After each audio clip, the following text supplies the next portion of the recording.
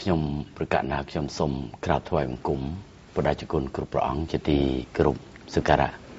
បាទសូមលំអរកាយគោរពជំរាបសួរសម្ដេចលោកជំទាវជាទីគោរពដ៏ខ្ពង់ខ្ពស់និងសូមជម្រាបសួរអាដាមលោកជំទាវលោកលោកស្រីនិងនាងកញ្ញាបងប្អូនរួមជាតិទាំងក្នុងនិងក្រៅប្រទេសជាទីគោរពនិងជាទីរាប់អានបាទនៅក្នុងរាត្រីថ្ងៃច័ន្ទនេះផងដែរគឺបងប្អូនរួមជាតិក៏តែងតែបានទទួលស្ដាប់និងតាមដាន ជាមួយនឹងនីតិវិភាគព្រឹត្តិការណ៍សង្គមបាទដែលកម្មវិធីរបស់យើងនេះតែងតែផ្ដល់ជូនជាមួយនឹងព្រឹត្តិការណ៍ថ្មីថ្មីដែលជាតតភាពថ្មីថ្មីបំផុតដើម្បីចែកជូនទៅដល់បងប្អូនយើង នៅក្នុងពីការពិចារណាក៏ដូចជាការស្វែងយល់ស្វែងដឹងជុំវិញព្រឹត្តិការណ៍ដែលកើតមាននេះផងដែរ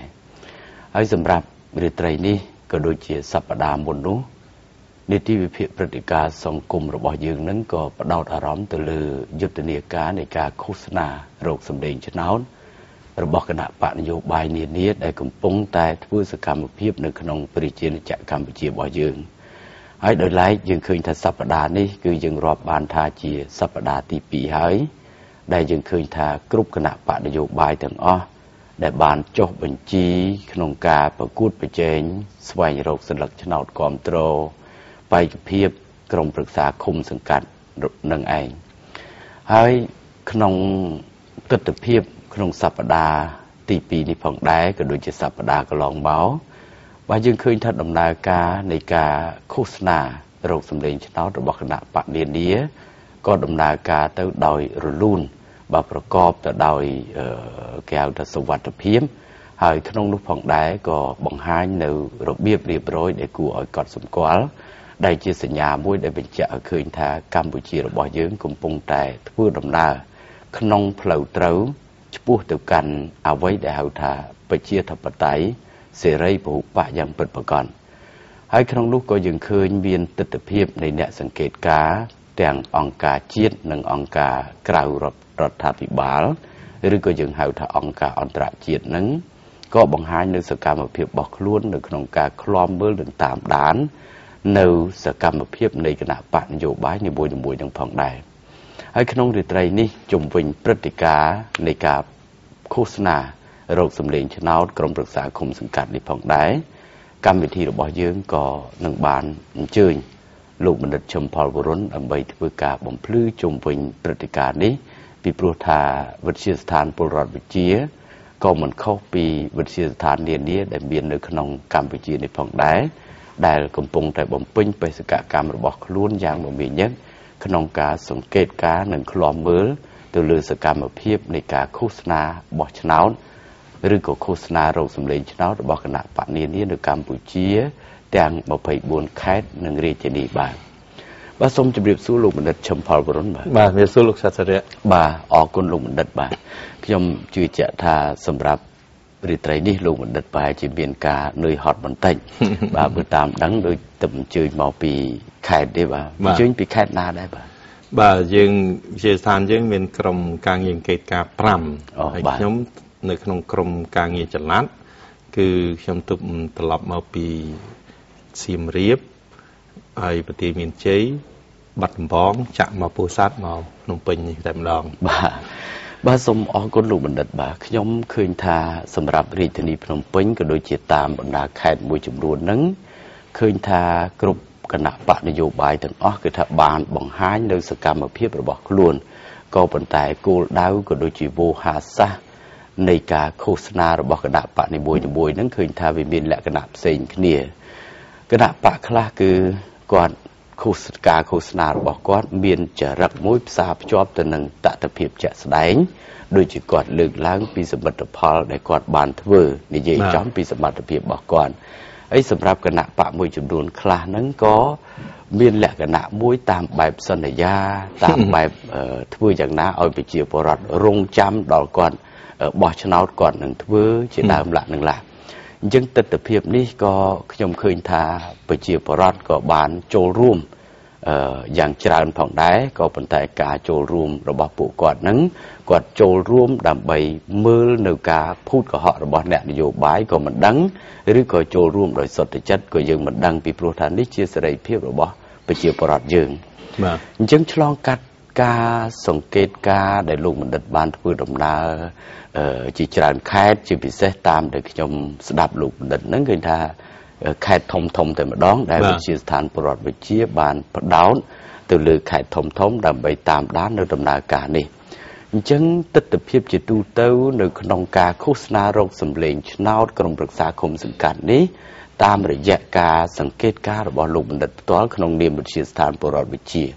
លោកបណ្ឌិតមើលឃើញសកម្មភាពយ៉ាងម៉េចដែរទៅបាទបាទអរគុណណាស់លោកសាស្ត្ររៈមកដល់ថ្ងៃនេះគឺយើងចូលសប្តាហ៍ទី2នៃពេលវេលាឃោសនាបោះឆ្នោតរបស់គណៈបកទាំង10បាទហើយទស្សនវិជ្ជាដែលខាងយើងចុះទៅដល់មូលដ្ឋានហើយត្រង់ចំណុចនេះខ្ញុំចង់ជម្រាបបងប្អូនជាបរិវត្តបានជៀបថាយើងចុះទៅដល់មូលដ្ឋានហ្នឹងគឺយើងទៅដល់ភូមិឃុំតែម្ដង បាទដើម្បីយករូបភាពជាក់លាក់ពិតប្រាកដ ក្នុងការវិយតម្លៃទៅលើបរិយាកាសឃោសនាបោះឆ្នោតដោយសុក្រិតដើម្បីជៀសវាង ការមូលបង្កាច់ឬបំពុលបរិយាកាសយើងទៅដល់មូលដ្ឋានយើងទៅដល់ទីប្រជុំជនក៏មានយើងទៅដល់ផ្លូវលំឃុំភូមិបច្ចយាក៏ទៅដល់ដែរគឺយើងឃើញថាទស្សនវិជ្ជារួមនៃបរិយាកាសនយោបាយក្នុងការប្រើសេរីភាពនយោបាយដើម្បីឃោសនាយើងឃើញថាល្អ ល្អហើយស្ងប់ស្ងាត់រលូនគ្មានការប្រទាំងប្រទិសឬក៏ល្អក់កករវាងគ្នានឹងគ្នាទេបាទយើងហ៊ាននិយាយដូច្នេះដោយសារយើងឃើញថាគណៈបកនយោបាយជាទូទៅចាំយើងលើកករណីពិសេសផ្សេងតែគណៈបកនយោបាយភាកច្រើននឹងជាទូទៅ គឺបង្ហាញនៅលទ្ធភាពនយោបាយរបស់ខ្លួន ជារូបភាពឃោសនាតាមបែបដង្ហែក្បួនបាទ មួយទៀតតាមបែបនៅនឹងកន្លែង នៅកន្លែងការិយាល័យឬក៏ផ្ទះរបស់សមាជិកខ្លួនធ្វើការផ្សព្វផ្សាយតាមមេក្រូមួយទៀតជារូបភាពនៃការបិទបដានិងខិត្តប័ណ្ណនៅតាមដងផ្លូវសាធារណៈឬក៏ទីសាធារណៈដូចជាដើមឈើក្តីសរដង្គមអីក្តីនិងទស្សនវិជ្ជាទី4គឺការឈរចែកខិត្តប័ណ្ណនិងកម្មវិធីនយោបាយគណៈបកបាទ ដូច្នេះវិធីនេះគឺជាវិធីដែលនៅប្រទេសដទៃទៀតគេធ្វើបាទហើយអត់មានការប្រទាំងប្រទិសឬក៏វាយប្រហារនៅពេលដែលប្រសពមុខគ្នាវាយប្រហារគ្នាឬក៏ទៅបិទខិត្តប័ណ្ណទៅវាបោចខិត្តប័ណ្ណគ្នាឃើញអត់ទេឃើញល្អណាស់យើងឃើញថាចាប់ផ្ដើមកាន់តែប្រសើរឡើងប្រសើរឡើងជាលំដាប់ចំពោះវប្បធម៌នយោបាយនៃការប្រកួតប្រជែងលើទីលានជាតបតៃនឹងឯងបាទចំណុចនេះហើយដែលយើងមោទនភាព ប៉ុន្តែជាមួយនឹងការមោទនភាពរបស់យើងក៏យើងនៅមានការចាប់អារម្មណ៍ដែរចំពោះករណីខ្លះដែលការឃោសនារបស់គណៈបកមួយចំនួន គឺនៅពេលដែលពួកគាត់នឹងគ្មានគេហៅថាកម្មវិធីឬគោលយោបាយច្បាស់លាស់គឺគាត់ឃោសនារបៀបបោកបញ្ឆោតទេបាទហើយនឹងបំប៉ោងបំភ្លៃសាច់រឿងបាទអានឹងមួយចាំខ្ញុំធ្វើការបរិយាយលម្អិតហើយមួយទៀត ក៏មាននិន្នាការនយោបាយខ្លះមានចរិតទុច្ចរិតគាត់ឃើញសភាពការឬក៏អស់សង្ឃឹមក្នុងការតាក់ទាញការគ្រប់គ្រងពីប្រជាពលរដ្ឋមូលដ្ឋានអញ្ចឹងគាត់ឆ្លៀតបំប៉ោងនិងបំភ្លៃរឿងបាទដើម្បីជាហេតុផលក្នុងការបកែកមិនទទួលស្គាល់ការចាញ់របស់ខ្លួនបាទខ្ញុំលើកឧទាហរណ៍ដូចគាត់ទៅបំប៉ោងរឿងថាមានការបង្ខិតបង្ខំ ពីសំណាក់មេភូមិឬក៏សំណាក់អីផ្សេងផ្សេងគឺខុសហើយខ្ញុំបានចុះទៅដល់ខ្ញុំឃើញប្រជាពលរដ្ឋដូចគ្មានព្រួយបារម្ភអ្វីទាំងអស់គឺគាត់ប្រកបរបរចិញ្ចឹមជីវិតប្រចាំថ្ងៃជាប្រកដីដោយគ្មានចំណាប់អារម្មណ៍ភ័យព្រួយណាមួយទៅលើបរិយាកាសពិសេសដែលត្រៀមបោះឆ្នោតនោះទេ រហូតដល់ខ្ញុំអាចគិតទៅឃើញថាប្រជាពលរដ្ឋប្រហែលជាបានសម្រេចចិត្ត ទុករួចស្រេចទៅហើយទង្របដល់ថ្ងៃបោះឆ្នោតគាត់ដឹងរួចទៅហើយថាបោះឆ្នោតអ្នកណានោះបាទទៅនឹងមិនខ្ញុំផ្អែកទៅលើលទ្ធផលស្ទង់មតិរបស់អង្គការ IAI ទេគ្រាន់តែការដែលចុះទៅដល់មូលដ្ឋានរបស់ក្រមការងារយើងគឺយើងឃើញថាប្រជាពលរដ្ឋស្ងប់ស្ងាត់ប៉ុន្តែពិចារណាហើយអាចគិតទុកស្រេចរួចទៅហើយដូច្នេះមានន័យថាការឃោសនាណាមួយដែលឃ្លាតឆ្ងាយពីត ថភាពនៃសង្គមឃ្លាតឆ្ងាយអំពីកម្រិតនៃការអភិវឌ្ឍនៅឯមូលដ្ឋានខ្ញុំឃើញថាប្រជាពលរដ្ឋហាក់ដូចជាមិនជាចាប់អារម្មណ៍ទេខ្ញុំរហូតដល់ឃើញមានគណៈបកខ្លះដែលខំបំភ្លៃរឿងហើយចែកខិត្តប័ណ្ណហ្នឹងឃើញប្រជាពលរដ្ឋគេទទួលយកមែនតែហាក់ដូចជាកវត្តចោលអស់វិញចំណុចនេះដែលយើងអាចសង្កេតឃើញថាប្រជាពលរដ្ឋ ចាប់ផ្ដើមមានសមត្ថភាពក្នុងការពិចារណាលើនយោបាយភ្ជាប់ជាមួយនឹងកម្រិតជីវភាពរស់នៅជាក់ស្ដែងរបស់ខ្លួនថាតើជីវភាពរស់នៅនិងការរស់នៅនៅក្នុងភូមិឃុំរបស់ខ្លួនមានការវិវត្តល្អប្រសើរកម្រិតណាគាត់វិនិច្ឆ័យតាមកម្រិតហ្នឹងបាទអញ្ចឹងយើងឃើញថាបើធៀបទៅនឹងការឃោសនារបស់គណៈបក មួយចំនួនជាពិសេសគណៈបកវិឆាងឃើញថាហាក់ដូចជាឃ្លាតឆ្ងាយពីការពិតនៅឯមូលដ្ឋានបាទហើយចំណុចនេះគឺខ្ញុំជឿថាមានការប្រទាំងប្រទិសជាមួយឆន្ទៈប្រជាពលរដ្ឋនិងឆន្ទៈនយោបាយរបស់គណៈបកនឹងឯងបាទបាទឥឡូវនេះក៏សូមពេលវេលាសម្រាប់បន្តិចសិន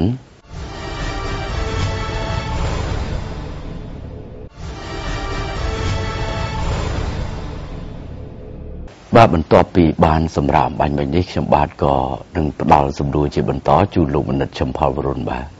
បាទសូមអរគុណលោកបណ្ឌិតបាទអ្វីដែលកម្មវិធីរបស់យើងចង់ឲ្យលោកបណ្ឌិតជួយបំភ្លឺ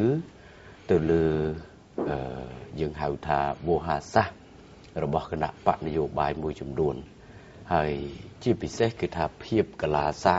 របស់លោកកឹមសុខា ដែលគេស្គាល់ថាជាប្រធានគណៈបកសិទ្ធិមនុស្សនឹងឯងបាទ បាទនៅថ្ងៃទី24កន្លងមកនេះតាមបណ្ដាញផ្សព្វផ្សាយរបស់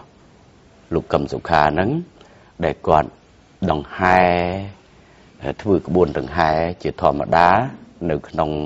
ខេត្តមួយ បាទដូចជា ក្នុងខេត្តកំពង់ឆ្នាំងបាទបាទគឺថាគាត់បានស្រែករហូតទៅដល់គាត់ហាក់បីដូចជាស្លន់ស្លោចំពោះការដែលគណៈបក ដតីដែលជាគូប្រជែងរបស់គាត់នឹងចោតគាត់ពីរឿងបញ្ហាថាគាត់ជាអាយ៉ងចោតថាគាត់នឹងគឺជាគណៈបកនៃកឆេទៅទេហើយគាត់រហូតទៅដល់គាត់ប្រើពាក្យស្បត់ស្បែយ៉ាងដែលយើងស្ដាប់ទៅគឺថាយ៉ាងអសិលធម៌បំផុតមិនស័កសមជាអ្នកនយោបាយពីរឿងថាបើសិនណាជាគាត់ជាអាយ៉ងមែនសូមឲ្យគណៈបកគាត់នឹងអាលាយទៅចោះហើយបើគាត់មិន មិនជាអាយ៉ងទេឲ្យគេអាលាយឲ្យគេងាប់បាទវិនិច្ឆ័យអន្តរាយអីជាដើមអញ្ចឹងក្នុងការឃោសនាដោយប្រើកំហឹងនិងប្រើនៅភាពស្លន់ស្លោបែបនេះតើលោកបណ្ឌិតយល់ឃើញនៅចរិតនយោបាយរបស់គណៈបកកឹមសុខាហ្នឹងយ៉ាងម៉េចដែរទៅបាទបាទនេះហើយជាការសរបញ្ជាក់ថាកឹមសុខាគ្មានសមត្ថភាព ក្នុងការពន្យល់ប្រជាពលរដ្ឋ ឬក៏តតាំងទៅនឹងការប្រឈមតទល់នឹងដៃគូដតីបាទធម្មតាកាលណាប្រកួតប្រជែងវាអាចមានការប្រទាំងប្រទិសខ្លះក្នុងពាក្យសម្ដីបាទដែលជាមិនផុត តែបើជៀសបានជាការល្អតែបើមិនជៀសមិនផុតក៏គេត្រូវមានសមត្ថភាពមួយក្នុងការពន្យល់តតាំងបាទប៉ុន្តែកម្មសិក្ខាអត់មានសមត្ថភាពក្នុងការពន្យល់ទេគាត់មានសមត្ថភាពត្រឹមតែប្រើវោហារស័ព្ទវាយតម្លៃវាយប្រហារ បន្ទោសបង្អាប់និងប្រមាថខ្ញុំលើកឧទាហរណ៍បើនិយាយពីក្រមសិលធម៌នៃការឃោសនាបោះឆ្នោតវាខុសទៅហើយបើដែរនៅកម្ពុជាយើងទោះជាយ៉ាងណាក៏មានការអត់ឱនដែរក៏ផ្ដល់លទ្ធភាពមិនចាប់ទោសចាប់ពៃទៅនឹងចរិតខុសឆ្គងរបស់កម្មសខាពីរបៀបឃោសនាខ្ញុំលើកមុននឹងលើកកំពង់ឆ្នាំងខ្ញុំលើកនៅបាត់ដំបង នៅថ្ងៃ23ខ្ញុំមិនចាំតែថ្ងៃអង្គារឬថ្ងៃពុធកន្លងទៅបាទថ្ងៃអង្គារថ្ងៃអង្គារកន្លងទៅ គឺក្បួនរបស់លោកកឹមសុខា ទៅឃោសនានៅឯក្រុងបាត់ដំបងនៅឯទីប្រជុំជនបាទគ្នាមិនលើសពី50នាក់ទេយើងមានបណ្ដាញរបស់យើងយើងមានថតបានទាំងអស់ដូច្នេះឡានក្បួនឡានតែខ្ទង់ជា5 6មនុស្សប្រហែលជាក្រុម50នាក់ទេយើងមិនចង់ ផ្ដោតទៅលើបរិមាណនឹងទេតែយើងគ្រាន់តែចង់តាមមើលតើរបៀបឃោសនានិងខ្លឹមសារនៃការឃោសនានឹងមានចរិតជាអ្នកនយោបាយសមស្របក្នុងការផ្សព្វផ្សាយកម្មវិធីទេ គឺយើងពិនិត្យទៅ គឺបននយោបាយរបស់លោកកឹមសុខានឹងគឺអាក្រក់តែម្ដងបាទទី1គាត់វាយប្រហារគណៈបកគាត់នៅថ្ងៃសុក្រថ្ងៃ18ដែលចាប់ផ្ដើម នៅវត្តភ្នំហ្នឹងលោកកឹមសុខា ប្រើចរិតបដិវត្តវាយប្រហារគេបាត់ហើយហ្នឹងទី1ល្បិចគាត់គាត់ថាអីទៅអីលាសម្បត្តិជូនជួសប្រជាពលរដ្ឋអីស្អីគេសាសនាអីគេហើយល្បិចអីគេនោះទៅលាសម្បត្តិអីម៉េចហើយទេបើថាលាក៏លាចុះបើល្បិចវាដល់ថ្នាក់ហ្នឹងក៏លាទៅចុះតែពាក្យសម្ដីនៃការលាហ្នឹងគឺចោតប្រកាន់គេទាំងអស់បាទណាអញ្ចឹងខ្លួនឯងនឹងមិនដឹងកាន់សាសនាអីទេអាសាសនាចោតប្រកាន់គេនេះបើសាសនាពុទ្ធគឺគ្មានទេនេះសាសនាអាលក្ខអាឡក់មកមកយកខ្លីនឹងក៏សាសនាទុច្ចរិតមកចោតប្រកាន់គេហើយសិតតែគេអាក្រក់រហូតដល់ខ្លួនគ្មានសមត្ថភាពបញ្យល់ថាខ្លួនមិនមែនអាយ៉ងនោះបែរទៅជាបង្ហាញថារហូតដល់ដាក់ទំនាយឲ្យគេរលាយទៀតអ្នកដែលចោតប្រកាន់កម្មសិក្ខាអាយ៉ងគឺអាក្រក់តែបើខ្លួនឯងចោតគេអាយ៉ងបានណាបាទ រហូតដល់នៅបាត់ដំបងយើងថតបានទាំងសម្លេងថតបានទាំងរូបទាំងសម្លេងកម្មសិក្ខាវាចោតប្រកាន់រដ្ឋាភិបាលជារដ្ឋាភិបាលបំផ្លាញប្រៃឈើនេះភាសាហ្នឹងនៅក្នុងយុទ្ធនាការបោះឆ្នោតគេហាមព្រោះអ្នកឯងចោតប្រកាន់រដ្ឋាភិបាលអញ្ចឹងអ្នកឯងគេឲ្យឃោសនាគឺឃោសនាអំពីកម្មវិធីនយោបាយបើដែររដ្ឋាភិបាលអត់មានប្រតិកម្មយកទោសយកបីទេណាចោតប្រកាន់គណៈបកប្រជាជនសិតតែគណៈបកកើតមកពីបរទេសណាបកកើតទាំងទៅទៀតធួនធួនណាស់ គឺថារករកឲ្យសបាយជាមួយកម្មសិក្ខាមិនបានអទៅខឹងនឹងគណៈបកនរោត្តមរណរិទ្ធទៅវាយប្រហារគណៈបកសំនឹងស៊ីរហូតដល់ប្រមាថមាក់ងាយផ្លាកសញ្ញាគណៈបកសំស៊ីសិតតែអីភ្លើងទៀនអាលុតអាលាយរហូតដល់ប៉ុណ្ណេះទៀតណោះធ្លាក់ពីលើរិញហើយមកអន្តេះតះក្បែរជើងតិចធាក់បាក់ថ្មិញ2 3ទៀតនេះសិតតែអញ្ចឹងហើយហើយសិតមនុស្សអាលៈអាឡក់អញ្ចឹងកើតដែរអីហើយយើងមើល អ្នកណាគេអនុញ្ញាតឲ្យឃោសនាអញ្ចឹងតែយើងគ្រាន់តែថាទស្សនវិជ្ជាអញ្ចឹងទៅចោះគឺខ្មែរយើងមានការអត់ឱនទៅលើកម្មសិក្ខាច្រើនណាស់ចំពោះបនយោបាយកម្មសិក្ខាដល់ថ្ងៃពុធក្បួនដង្ហែរបស់កម្មសិក្ខាហ្នឹងបានមកកំពង់ឆ្នាំងបាទ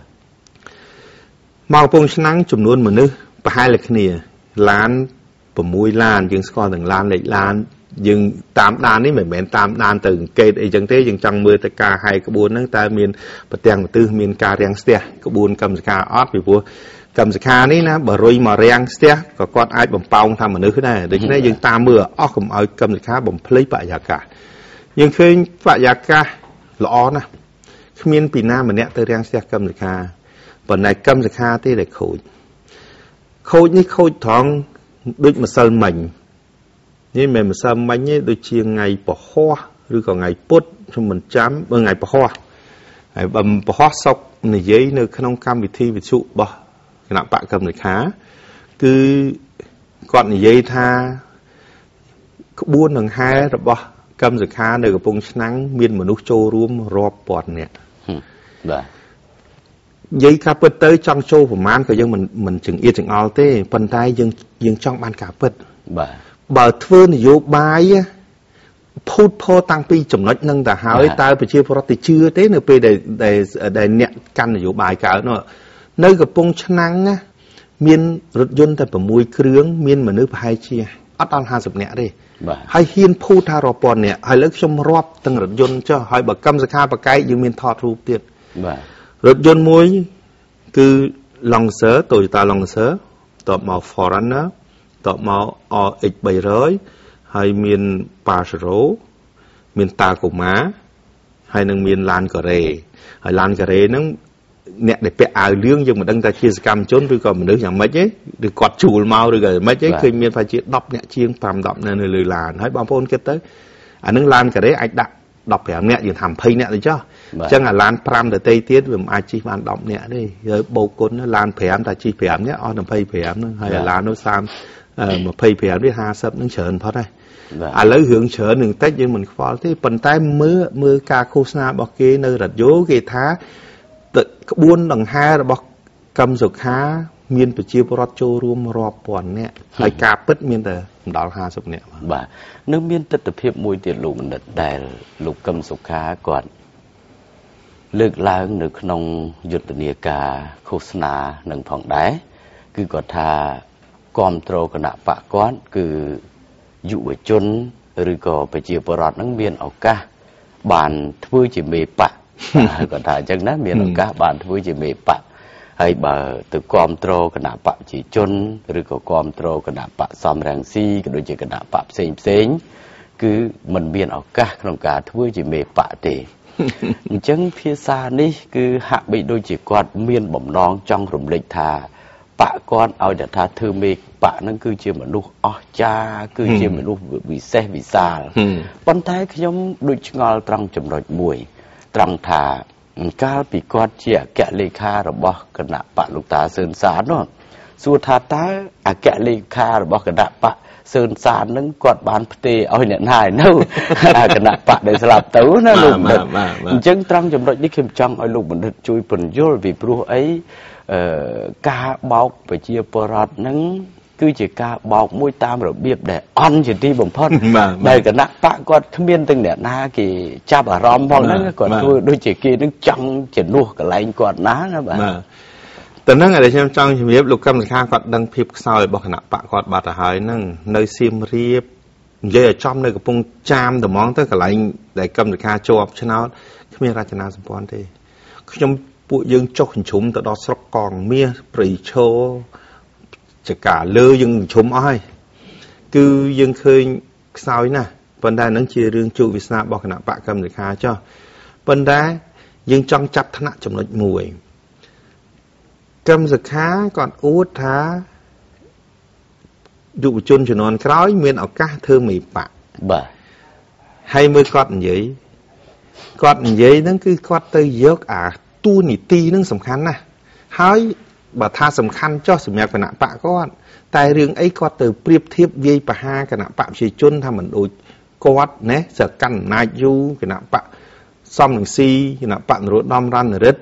យកឈ្មោះខ្លួនឯងធ្វើបកអានឹងជារឿងរបស់គេណាបើក្រៅការឃោសនានឹងឯងតិចទៀតមិនអានឹងរឿងមួយផ្សេងទៀតតែនៅក្នុងយុទ្ធនាការឃោសនារបស់ឆ្នោតច្បាប់កោជបហាមអត់ឲ្យឯងវាយប្រហារគេទេណាបាទ ហើយមើលខូចដល់ថ្នាក់ហ្នឹងដល់ឃោសនាខូចមួយបង្កាច់ខ្លួនគ្មានកម្មវិធីនយោបាយមានតែរបៀបបោកបាទទៅបោកចង់បានសិលឹកឆ្នោតពីយុវជនថាអាចធ្វើមេបកជំនួសគាត់បាទហើយគាត់អត់ដឹងទេចុះអ្នកហែគាត់ទៅចង់ធ្វើមេបកដែរណារឿងគណៈបកលោកតាសឿនសានគាត់ដណ្ដើមគ្នាធ្វើមេបកនៅអគ្គលេខាបកមិនតិចញាក់នេះណាហើយកុំប្រកែកមានបាទ ដោយសារតែអ្នកដែលចង់ស្នងធ្វើប្រធានបកក្រោយពីលោកតាសឿនសានមានច្រើនអ្នកហ្នឹងហើយបានវាបែកបាក់គ្នាហ្នឹងដោយសារតែអ្នកចង់បន្តធ្វើជាអគ្គលេខាបកហ្នឹងមានច្រើនអ្នកហ្នឹងបានបែកបាក់គ្នាអាយះអាយាយខ្ទេចរហូតដល់អាលាយខ្លួនងាប់គណៈបកមួយទាំងមូលហ្នឹងបាទហើយសួរថាការសន្យារបស់កឹមសុខា ដើម្បីចង់បានសិលឹកឆ្នោតពីយុវជនហ្នឹងតើមានប្រយោជន៍អី រហូតដល់ការសន្យារបស់គាត់នឹងវាអត់ពាក់ព័ន្ធទៅនឹងជីវភាពនៅឯមូលដ្ឋានរបស់ប្រជាពលរដ្ឋទេប្រជាពលរដ្ឋគាត់មិនមែនចង់បានរឿងអាទៅធ្វើមេបកឯណាគាត់ចង់បានថាតើផ្លូវលំណាបលាយលូភូមិឃុំមានសវត្ថភាពណាអឺភាពស្រស់បំព្រងបៃតងនៅក្នុងឃុំសង្កាត់ណាហើយអ្វីផ្សេងផ្សេងទៀតដែលជាតម្រូវការជាក់ស្ដែងប្រចាំថ្ងៃរបស់ប្រជាពលរដ្ឋនៅឯឃុំសង្កាត់នោះបាទ តែនឹងការអភិវឌ្ឍនឹងឯងបាទហើយតែនឹងដែលជាវត្ថុបំណងរបស់ប្រជាពលរដ្ឋគ្រប់អាយុគ្រប់ចំនួនឯរឿងទៅធ្វើមេបកមិនមែនជាកម្មវត្ថុរបស់ប្រជាពលរដ្ឋទេអរគុណលោកបណ្ឌិតបាទនៅមានចំណុចមួយដែលតាមការឃោសនារបស់គណៈបកប្រឆាំងដែលយើងឃើញថាទាំងគណៈបកសំរងស៊ីទាំងគណៈបកកឹមសុខាហ្នឹងគឺគាត់បានប្រើភាសាមួយគាត់ថាពេលនេះជាងពេលណាណាទាំងអស់ដែលគណៈបក របស់គាត់នឹងកំពុងតែធ្វើដំណើរឆ្ពោះទៅមូលដ្ឋានឥឡូវនេះគឺលោកបណ្ឌិតផ្ទាល់រួមជាមួយនឹងសហការីរបស់លោកបណ្ឌិតក្នុងនាមវិទ្យាស្ថានពលរដ្ឋវិទ្យាគឺថាបានធ្វើដំណើរទៅកាន់មូលដ្ឋានដើម្បីឃ្លាំមើលសកម្មភាពនិងដំណើរការនៃយុទ្ធនាការឃោសនាបោះឆ្នោតនឹងថាតើគណៈបកណា ដែលមានសិលធម៌ឬក្រមសិលធម៌ដំណើរការនឹងយ៉ាងម៉េចមានការប្រទាំងប្រទិសគ្នាអីយ៉ាងម៉េចមានក្រមសិលធម៌យ៉ាងម៉េចនោះគឺថាលោកបណ្ឌិតជាអញ្ញាកដាលមួយសម្រាប់ស្វែងរកការពិតនិងបំភ្លឺទៅដល់ជនរួមជាតិអញ្ចឹងត្រង់ពាក្យថាដំណើរឆ្ពោះទៅមូលដ្ឋានរបស់គណៈបកប្រឆាំងនេះចង់សួរលោកបណ្ឌិតថាតើនៅតាមមូលដ្ឋានភូមិឃុំសង្កាត់ឆ្ងាយចិត្តដែលលោកបណ្ឌិតបានទៅដល់ហ្នឹងថាតើ សកម្មភាពរបស់គណៈបកប្រឆាំងដែលគេអះអាងថាដំណើរទៅមូលដ្ឋានគេនោះមានព្រឹត្តិការណ៍អីដែរទេបាទបើនិយាយពីគណៈបកកម្មសខាដែលគេថាអីដំណើរឆ្ពោះទៅមូលដ្ឋាន ចាប់ផ្ដើមពីក្រោមឡើងទៅលើ គឺទៅមើលទៅសរោហ្មងសរោពងមន់ហ្មងនឹងនិយាយឲ្យអស់ហ្មងដែលខ្ញុំហ៊ានថានៅសៀមរាបរក កម្មសខាមិនឃើញឥឡូវថាបកគលកម្មសខាទៅមិនដល់រកតែរូបកម្មសខាដាក់ដាក់កាន់នឹងกระดาษឬក៏បិទនៅនេះឬក៏អីអឺផ្លាកសញ្ញាគណៈបកអត់មានមកបើមានចៃដន្យខ្ញុំឃើញភាកច្រើនគឺអារូបចាស់ការឃោសនា2008ហើយឃើញមាននៅតាមទីប្រជុំជនឃើញមានតិចតួចបំផុតតិចជាងគេហ្មងដូច្នេះទៅមូលដ្ឋានឯណាបើទៅអត់ដល់ សូម្បីតែកំពង់ចាមតិចណាស់តែកំពង់ចាមសម្រាប់កម្មសិក្ខាឃើញចំណាយច្រើនជាងនៅដំណាខេត្តនានាបាទឯនៅកំពង់ធំក៏អត់ឃើញដែរតិចណាស់តិចយកតែមែនតែនឥឡូវយើងថាក្រែងបញ្ហាអីយើងមិនដឹងទេប៉ុន្តែវាអត់ស៊ីគ្នានឹងពាក្យថាដំណើរឆ្ពោះទៅមូលដ្ឋាននិងភាពជាក់ស្ដែងនៅឯមូលដ្ឋានគឺអត់ឃើញមាន ផ្ទុយទៅវិញ មានតែកំហឹងក្រេវក្រោត វាយប្រហាគេ ហើយនៅពេលដែលគេតបតវិញ ទៅជាខឹងឡំប៉ាអញេអញ្ញៃដោយទាំងអគ្គលេខារបស់កម្មសខាធ្វើលិខិតទៅកោជបអញ្ចឹងដែលខ្ញុំចង់បញ្ជាក់ជាក្នុងវងកញ្ចក់ដែលភាសាខ្មែរយើង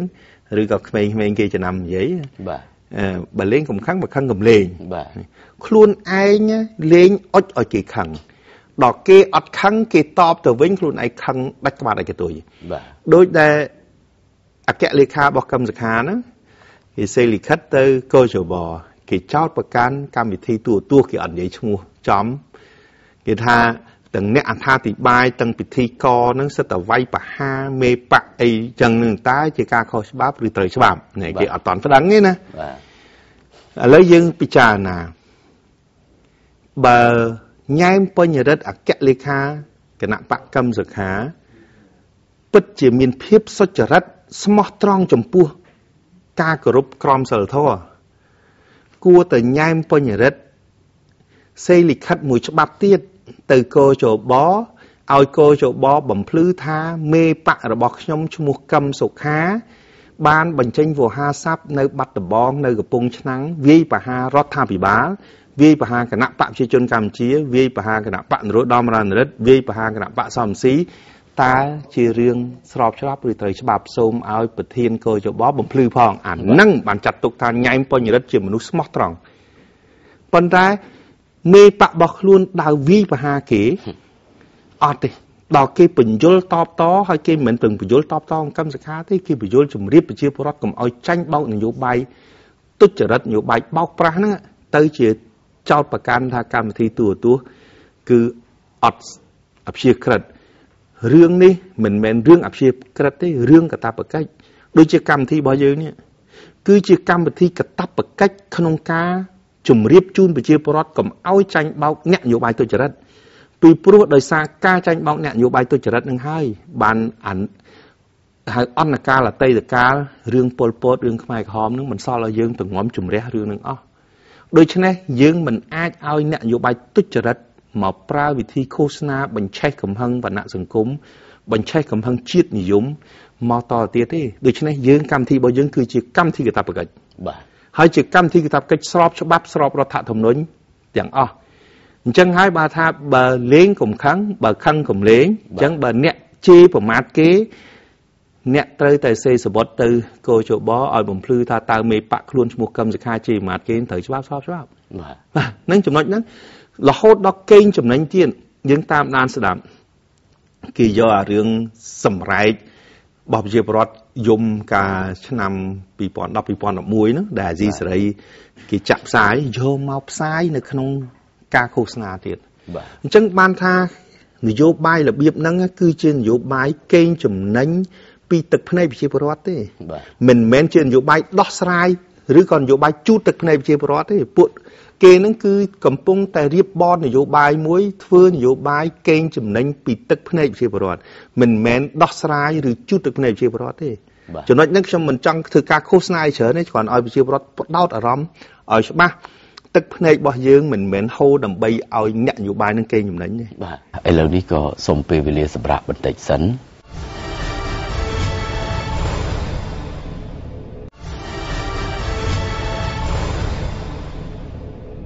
បាទបន្ទាប់ពីបានសម្រាប់បាញ់មិញនេះខ្ញុំបាទក៏នឹងផ្ដល់សំណួរជាបន្តជូនលោកមនិតចំផលវរុនបាទ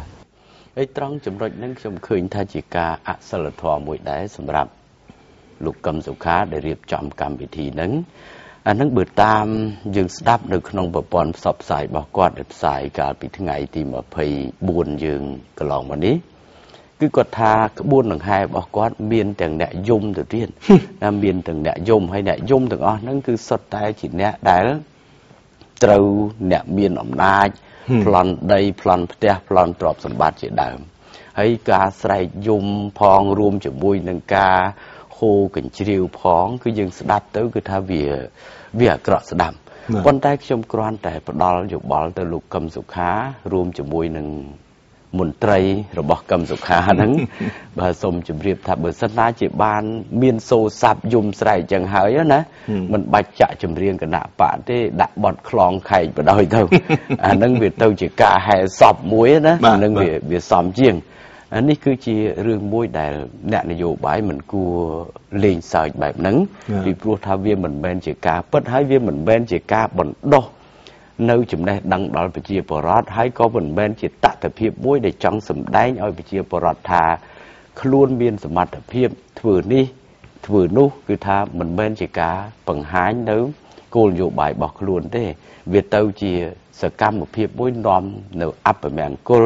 ហើយដែលធ្វើឲ្យអ្នកដែលឃ្លាំមើលនឹង យល់ឃើញថាជាជាគណៈបកមួយដែលកឹមសុខាបង្កើតហ្នឹងវាទៅជាអសិលធម៌វាទៅជាគ្មានតម្លៃទៅវិញអញ្ចឹងនេះជាចំណុចមួយហើយខ្ញុំនៅមាន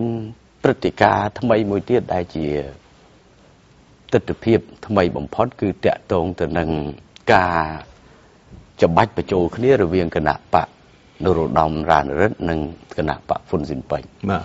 បើយើងឃើញថាការច្បាច់បញ្ចូលគ្នានេះគឺធ្វើឡើងនៅវិមានសន្តិភាពកាលពីថ្ងៃទី24វេលាម៉ោង9ព្រឹកដោយមានការផ្ដួចផ្ដើមផ្សំផ្គុំដោយសម្ដេចអគ្គមហាសេនាបតីដេជោហ៊ុនសែនហើយយើងឃើញថាការចុះហត្ថលេខាក្នុងការរួបរวมគ្នារវាងព្រះអង្គម្ចាស់រានរិទ្ធជាមួយនឹងលោកញឹកប៊ុនឆៃដែលក្នុងនាមលោកជាអគ្គហ្នឹង គណៈបកហ៊ុនស៊ីពេចហ្នឹងឃើញថាបានព្រមព្រៀងគ្នាច្បាច់បញ្ចូលគ្នារួមរស់ជាមួយគ្នា ហើយជាពិសេសគឺនៅឆ្នាំ2013បោះឆ្នោតសកលហ្នឹងគឺនឹងរួមគ្នាជាបកតែមួយជាហ៊ុនស៊ីពេចតែមួយអញ្ចឹងការរួបរមគ្នារវាងគណៈបកហ្វុនហ្វុនស៊ីនពេជ្រដែលធ្លាប់បែកបាក់ខ្ទេចខ្ទាំពីអតីតកាលហើយឥឡូវងាកមករួបរមគ្នាដោយសារតែការផ្សំផ្គុំ ពី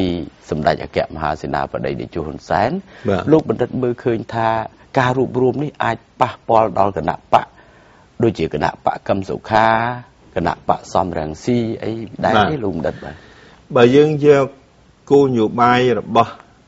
គណៈបកនរោត្តមរណរិទ្ធបច្ចុប្បន្នដែលថាកសាងនៅកម្លាំងជាតិមួយដើម្បីទៅបូកនឹងកម្លាំងជាតិ ចង់សម្ដៅដើម្បីទៅចូលរួមជាមួយនឹងគណៈបកប្រជាជន តែមិនមែនទៅរំលាយទេទៅចូលរួម ជាដៃគូអភិវឌ្ឍប្រទេសបើសិនជាសម្ដេចក្នុងព្រះប្រកាន់ចំហនេះបាននឹងជានយោបាយមួយដែលចាត់ទុកថាសម្ដេចក្នុងព្រះពិតជាចង់ចូលរួមកសាងប្រទេសជាតិបាទប៉ុន្តែបើប្រកាន់ពាក្យនឹងអត់បានដោយទៅការមុនមុនអាណត្តិទី1ទី2ទី3គឺនៅពេលដែលមិនតាន់បោះឆ្នោតសម្ដេចក្នុងព្រះ បង្ហាញរូបភាពដូចល្អុកលឿនដល់ពេលចូលយុទ្ធនាការបោះឆ្នោតសម្ដេចគង់ព្រះវាយប្រហារគណៈបកដៃគូបើសិនជាសម្ដេចគង់ព្រះធ្វើរបៀបនឹងម្ដងទៀតគឺចប់ហើយគឺជោគវាសនាគឺបញ្ចប់នយោបាយអញ្ចឹងបើលើកនេះគឺជាឱកាសល្អហើយហើយខ្ញុំសូមកោតសរសើរដែលសម្ដេចប្រមុខរាជរដ្ឋាភិបាលយកចិត្តទុកដាក់ក្នុងសេរីភាពនយោបាយរបស់គណៈបកដតីទៀតដែល ផ្ទៃក្នុងគណៈបកនោះខ្វះសមត្ថភាពរួបរวมជាការពិតហើយការជួយជ្រោមជ្រែងជាគំនិតប៉ុន្តែការសម្រេចចិត្តគឺរឿងសម័យខ្លួន ការជ្រោមជ្រែងនេះគឺជាគេហៅថាកាយវិការល្អមួយ ដើម្បីឲ្យតួអង្គចលករពហុបកមាននិរន្តរភាពបាទពីព្រោះគណៈបកប្រជាជនកម្ពុជា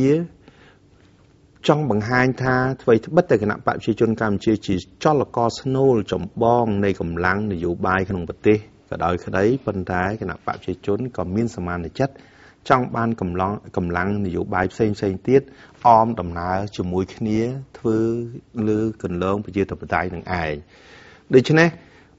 បញ្ហាស្ថិតនៅត្រង់ថាតើគណៈបកនរោត្តមរណរដ្ឋនិងគណៈបកហ្វុងពេជ្ររបស់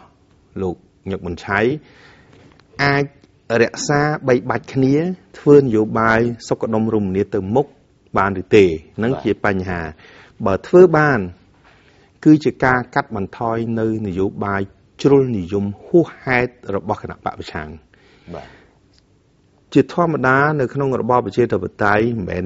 តើថាគណៈបកប្រឆាំងជ្រុលនិយមមានទៅប្រជាធិបតេយ្យទេគេចង់បានគណៈបកច្រើន តែមានគុណសម្បត្តិនយោបាយ ហើយនឹងមានវប្បធម៌នយោបាយនិងមានលទ្ធភាពក្នុងការបង្ហាញគំនិតអភិវឌ្ឍប្រទេសខុសគ្នា បានន័យថាយើងត្រូវការសម្លេងខុសគ្នា ក្នុងការផ្ដល់នៅគំនិតប្រកួតប្រជែងការកសាងប្រទេសតែប្រជាធិបតេយ្យមិនត្រូវការគណៈបកដែលរំខានគិតតែពីចងកំហឹងបញ្ឆេះកំហឹងដុតសាំងឲ្យប្រជាពលរដ្ឋទឹកភ្នែកដើម្បីខ្លួនយកទឹកភ្នែកមកប្រែคลายជានយោបាយបដិវត្តទេបាទអញ្ចឹង បើសិនជាសម្ដេចក្នុងព្រះនិងភាគីលោកញឹកប៊ុនឆៃរួមគ្នាជាធ្លុងមួយ ដោយទទួលស្គាល់នៅលទ្ធផលបោះឆ្នោតឃុំសង្កាត់ថ្ងៃ6ថ្ងៃ3ខែ6នេះហើយនឹងយកលទ្ធផលនេះទៅរៀបរៀងតទៅទៀតអំពីចំណុចខ្សោយចំណុចខ្លាំងរបស់ខ្លួនទាំងសងខាង ដើម្បីទៅប្រកួតប្រជែងនៅឆ្នាំ2013គឺគណៈបកនេះនឹងមានអនាគតនយោបាយថ្មីមួយ ហើយសម្រាប់កម្ពុជា នយោបាយជ្រុលនិយមនឹងត្រូវបានកាត់បន្ថយហើយក៏ជាសារមួយនឹងអធិបុលនយោបាយមួយឲ្យគណៈបកប្រឆាំងសំរងស៊ីពិចារណាអំពីកំណែតម្រង់អិយាប័តនយោបាយខ្លួនឡើងវិញហើយនេះគឺខ្ញុំឃើញថាជាចំណុចវិជ្ជមានហើយខ្ញុំសូមកោតសរសើរនៅសមានចិត្តសន្តានចិត្តរបស់សម្ដេចមុខរាជរដ្ឋាភិបាលដែលមើលឃើញនៅគេហៅថាទស្សនវិស័យនយោបាយទលាយមួយពីព្រោះបានន័យថាយើងមិនអាចបោះបង់កម្លាំង ឬក៏ក្រមនយោបាយខ្មែរណាមួយទេនយោបាយនេះហើយដែលជានយោបាយរក្សាបាននូវសន្តិភាព និងសុខដុមរមនាដែលមានន័យថាឯកភាពជាតិក្រោមលក្ខខណ្ឌប្រជាធិបតេយ្យសេរីភូប៉នឹងឯងបាទបាទបាទសូមអរគុណលោកបណ្ឌិតបាទយើងឃើញថានេះគឺជាព្រឹត្តិការណ៍ថ្មីមួយទៀតដែលប្រជាពលរដ្ឋលោកកំពុងតែបដោតអារម្មណ៍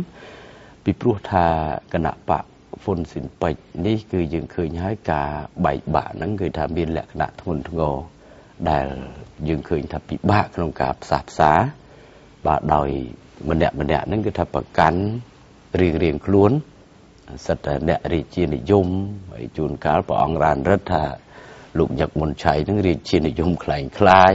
ឯលោកញឹកប៊ុនឆៃក៏ថាខ្លែងខ្លាយមិនមានខ្សែត្រង់ខ្សែស្ដាច់នៅជាមួយដែរតើអញ្ចឹងយើងស្ដាប់ទៅគឺថាការឆ្លោះប្រកែកនេះគឺវាបានត្រឹមតែធ្វើឲ្យរាជានិយមនឹងស្រុតចុះ តែប៉ុណ្ណោះហើយយើងក៏ចូលរួមអបអរសាទរផងដែរជាមួយនឹងអ្វីដែលជាការសុខដុមរមនាគ្នាឡើងវិញ របស់គណៈបករាជានិយមហ្វុនស៊ិនពេចនឹងឯងហើយអ្វីដែលជាការលើកឡើងរបស់លោកបណ្ឌិតក៏ជាទស្សនៈមួយក្នុងការពញ្ញាក់ទៅដល់សម្ដេចក្រមព្រះក៏ដូចជាលោកញឹកប៊ុនឆៃឲ្យងាកមករកអ្វីដែលជាការបង្រួបបង្រួមឡើងវិញហើយត្រូវស្គាល់នៅ មូលដ្ឋាននៃការនាំឲ្យបែកបាក់នឹងឯងមិនខុសទេពាក្យចាស់ថាបែកបាក់សាមគ្គីស្លាប់ណាសាមគ្គីរស់នោះអានឹងវាជារឿងប៉ុណ្ណឹងហើយរឿងសិទ្ធិនយោបាយយ៉ាងណាយ៉ាងណា គឺស្ថិតនៅលើគណៈបកហ៊ុនស៊ិនពេជ្រនឹងឯងអីឥឡូវយើងពិនិត្យមើលទស្សនវិជ្ជាចុងក្រោយ នៃការឃោសនារោគសម្លេងឆ្នោតនេះខ្ញុំឃើញថាគណៈបកនយោបាយមួយចំនួនខ្លះដែលគ្មានអ្នកគ្រប់គ្រង រហូតទៅដល់គ្មានទាំងលុយទិញទឹកសុទ្ធឲ្យអ្នកហែហមដែលមាន10 20អ្នកនឹងទៅទៀតអីចឹងទៅគឺថាគេកំពុងតែបង្ហាញនៅភាពអស់សង្ឃឹមភាពអស់សង្ឃឹមនេះស្ដែងចេញតាមរយៈការដែលកំពុងតែបង្កើតនៅរឿងថ្មីមួយដូចជាថាការបោះឆ្នោតមិនមានគេហៅថាដំណាភាព មានការកេងបន្លំមានការបំផិតបំភ័យ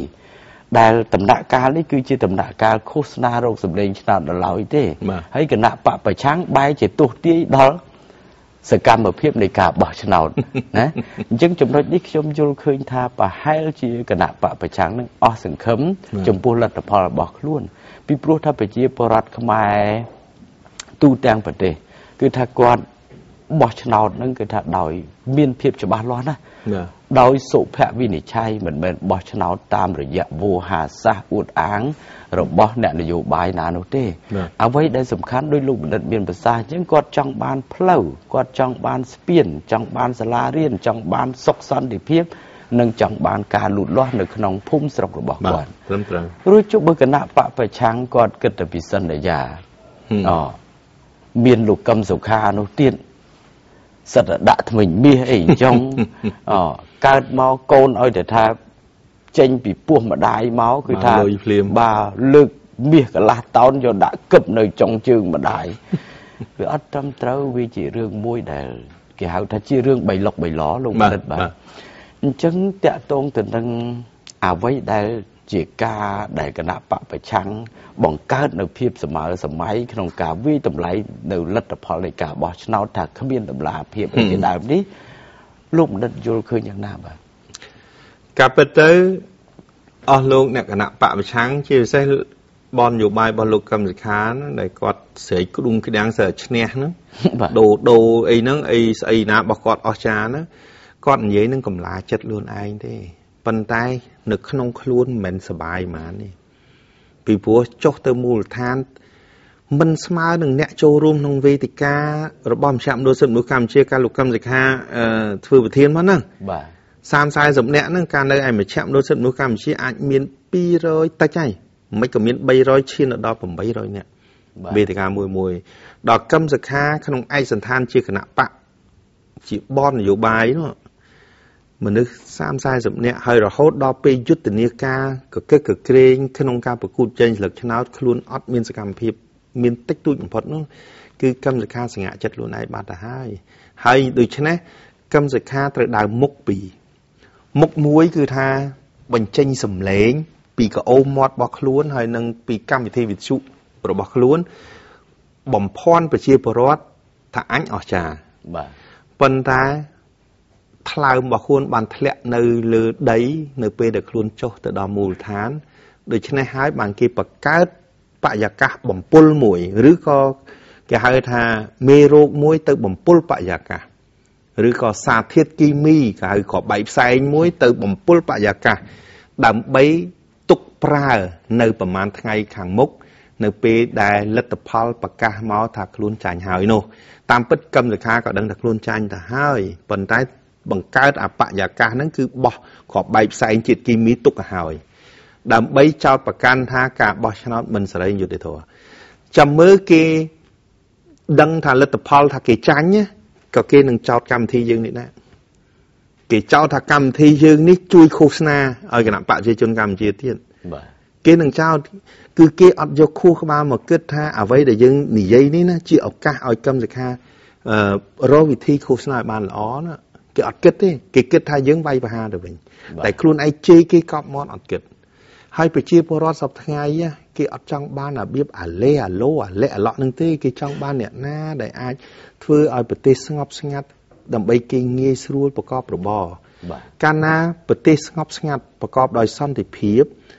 អ្នកដែលមានលុយតិចឬច្រើន គេហ៊ានដាក់ទុនហើយការដាក់ទុនទៅដល់មូលដ្ឋានប្រៀបដូចជាការបង្កើតនៅ ទីផ្សារការងារដល់ប្រជាពលរដ្ឋនៅទីនោះលើគ្រប់វិស័យទាំងវិស័យកសិកម្មទាំងវិស័យសេវានិងសិប្បកម្មឡើងឡាដូច្នេះគេអត់ចង់បាននយោបាយអាឡែអាឡក់អាឡេអាឡូនឹងទៀតទេបញ្ចប់ហើយអតីតកាលរបស់កម្ពុជាគឺប្រជាពលរដ្ឋខ្មែរស្គាល់អស់ហើយចំណុចហ្នឹងដែលខ្ញុំចង់ទាញមកបញ្ជាក់បងប្អូនប្រជាពលរដ្ឋកុំចាញ់បោកឲ្យសោះក្នុងការជួយបំពៅ ពាក្យអាចារ្យមារាមដែលបង្កើតឡើងដោយអ្នកនយោបាយទុច្ចរិតទាំងអស់នោះដែលគេថាបរិយាកាសបោះឆ្នោតរបស់យើងស្ថិតនៅក្នុងការគម្រាមកំហែងកុំជឿឲ្យសោះហើយកុំចាញ់បោកអង្គការ NGO សិទ្ធិមនុស្សនិន្នាការប្រឆាំងដែលនៅពីក្រោយគណៈបកប្រឆាំងទាំងអស់នោះកុំបងប្អូនប្រជាពលរដ្ឋកុំចាញ់បោកយើងបបរិយាកាសទាំងអស់នេះគ្មានការគំរាមកំហែងទេ គេចេះបំពងសម្លេងតាមប្រព័ន្ធផ្សព្វផ្សាយរបស់គេ ដើម្បីឲ្យយើងនឹងជ្រួលច្បល់បងប្អូនជាប្រវត្តិត្រូវទុកចិត្ត គ្មាននរណាទុកចិត្តជាងខ្មែរគ្នាឯងទេហើយគ្មាននរណាដែលត្រូវព្រួយបារម្ភខ្លាចគេដឹងថាយើងបោះឆ្នោតគូសឲ្យនរណាទេ ពីព្រោះកោជបបានចាត់ចែងយ៉ាងច្បាស់បងប្អូនមានបទពិសោធន៍ហើយនៅក្នុងកន្លែងបោះឆ្នោតមានបន្ទប់សម្ងាត់ដូច្នេះកុំចាញ់ការឃោសនាបំពុលបរិយាកាស ពីអ្នកនយោបាយទុច្ចរិតដើម្បីគេធ្វើយ៉ាងនេះក្នុងក្នុងន័យគេយកទៅប្រើប្រកែកលទ្ធផលទេឆន្ទៈរបស់ប្រជាពលរដ្ឋត្រូវតែការពាររហូតដល់បង្កើតបាននៅក្រមប្រឹក្សាគុំសង្កាត់នីតិកាលថ្មីរបស់យើងដូច្នេះជនទុច្ចរិតទាំងអស់នេះ គឺនឹងទទួលទណ្ឌកម្មពីសិលឹកឆ្នោតរបស់ប្រជាពលរដ្ឋហើយយើងធ្វើដំណើរអភិវឌ្ឍមូលដ្ឋានរបស់យើងបន្តទៀតនៅអ្វីដែលយើងមានសមិទ្ធផលមកដល់ពេលនេះដែលខ្ញុំមោទនភាព ខ្ញុំចុះទៅគ្រប់កន្លែងគុំនិយាយថាផ្លូវជាតិមានឲ្យខ្វាត់ខ្វែងផ្លូវជាតិថ្មីត្រូវបានបង្កើតឡើងសូម្បីតែផ្លូវចេញពីផ្លូវជាតិចូលទៅផ្លូវស្រុកផ្លូវឃុំ គឺយើងមិនមានកស៊ូមែនតែសិតតែផ្លូវដីក្រហម មានទាំងលូប្រព័ន្ធទឹកស្តង់ដារហ្មងខ្ញុំទៅដល់ជនបទខ្ញុំលើកឧទាហរណ៍ដូចនៅយើងពីសៀមរាបទៅកលាញ់ហើយពីកលាញ់ទៅ សំរោងចុងកាល់ដល់មានជ័យស្មាច់រហូតអាចទៅដល់ស្អែមព្រះវិហារគឺផ្លូវជាតិថ្មីហ្នឹងណាល្អមែនតើហើយយើងមើលឃើញទេសភាពវាលស្រែដែលកម្ពុជានៅមានសក្តានុពលក្នុងការវិនិយោគលើវិស័យកសិកម្មក្នុងលក្ខណៈកសិកម្មសម័យទំនើបហ្នឹងគឺនៅមានសក្តានុពលក្នុងការធ្វើវិនិយោគច្រើនណាស់ពីព្រោះផ្លូវខ្វាត់ខ្វាយហើយចេញពីផ្លូវជាតិហ្នឹង ដូចខ្ញុំទៅដល់ស្រីស្នំ ទីរួមស្រុកពិតមែនទីរួមស្រុកយើងនៅក្រប៉ុន្តែផ្លូវចាប់ផ្ដើមកសាងបាទកំពុងតែកសាងហើយជាដីក្រហមមានលូមានប្រព័ន្ធទឹកល្អល្អណាស់ហើយនៅកំពង់ធំក្តីកំពង់ឆ្នាំជនបទដតីទៀតហើយដូចជាយើងពីកំពង់ចាមទៅចកាលើបត់ទៅស្ទឹងត្រង់បត់ទៅកំពង់ថ្មកំពង់ធំគឺយើងចាប់ផ្ដើម រីកចម្រើនណាស់ពីមួយឆ្នាំទៅមួយឆ្នាំដូច្នេះសមិទ្ធផលទាំងអស់នេះនឹងជាមូលដ្ឋាននៃការអភិវឌ្ឍបន្តក្រោយពីក្រមប្រឹក្សាឃុំសង្កាត់និងមេឃុំចៅសង្កាត់របស់យើងត្រូវបានជាប់ឆ្នោតសារជាថ្មីបាទបាទសូមអរគុណលោកបណ្ឌិតបាទដែលបានចូលរួមហើយក៏ធ្វើការបំភ្លឺជូនជនរួមជាតិតកតងទៅនឹងព្រឹត្តិការណ៍ជាក់ស្ដែង នៅក្នុងសប្តាហ៍ទី1 ក៏ដូចជាឈានចូលសប្តាហ៍ទី2នេះនៃដំណើរការឃោសនារោគសម្លេងឆ្នោតរបស់គណៈបកនយោបាយនានាហើយខ្ញុំបាទក៏ឆ្លៀតឱកាសនេះក៏រំលឹកជូនទៅដល់ជនរួមជាតិក៏ដូចជាបងប្អូនមួយចំនួនខ្លះដែលមាននិន្នាការប្រឆាំងក្តី មាននិន្នាការគ្រប់គ្រងដល់គណៈបកណាមួយក្តីសូមទទួលជ្រាបផងដែរថា នីតិវិភាគព្រឹត្តិការណ៍សង្គមរបស់យើងនេះគឺគ្មានចេតនាអាក្រក់ណាមួយ នៅក្នុងការញុះញង់ប្រជាពលរដ្ឋឬក៏ញុះញង់អ្នកនយោបាយណាម្នាក់ឲ្យធ្លាក់ទៅក្នុងភាពបរាជ័យនោះទេ គឺយើងចង់ឃើញគ្រប់គណៈបកទាំងអស់ទទួលបានជោគជ័យប៉ុន្តែសូមឲ្យជោគជ័យរបស់អ្នកគឺជោគជ័យតាមរយៈភាពសុចរិតនិងភាពត្រឹមត្រូវ សូមឲ្យទទួលបានជោគជ័យតាមរយៈសមត្ថភាពនិងកម្លាំងនៃការបម្រើប្រជាពលរដ្ឋមិនគួរទទួលជោគជ័យតាមរយៈការភូតកុហកការបន្លំភ្នែកប្រជាពលរដ្ឋឬក៏ការញុះញង់សន្យាខ្យល់ដែលជាគ្រឿងមួយគ្មានប្រយោជន៍សម្រាប់ជីវភាពរស់នៅប្រចាំថ្ងៃរបស់ប្រជាពលរដ្ឋនោះទេ ជាការពិតគ ណៈបកទាំងឡាយដែរដែលនិយមសន្យាប្រជាពលរដ្ឋនិយមភូតកុហកប្រជាពលរដ្ឋដូចជាចែកគោចែកកបីជ្រូកមន់ទារហូតដល់ដាក់ថ្មិញមាសសន្យាព្យាបាលដោយមិនយកលុយអីជាដើមហ្នឹងគឺថាគាត់ប្រហែលជាមិនសប្បាយចិត្តជាមួយកម្មវិធីយើង